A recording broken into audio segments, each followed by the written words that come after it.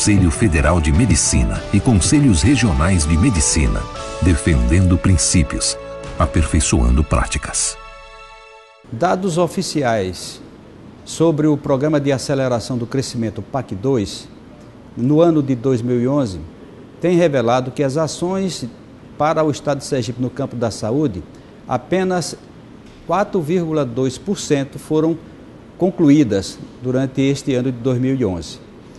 Dos 385 projetos, apenas 147 estão na fase de execução, o que significa um péssimo desempenho no estado de Sergipe em relação ao global do Brasil. Então temos que é, concluir que essas questões passam pelo mau financiamento da, da saúde e a questão também resvala para a má, a má gestão no estado de Sergipe.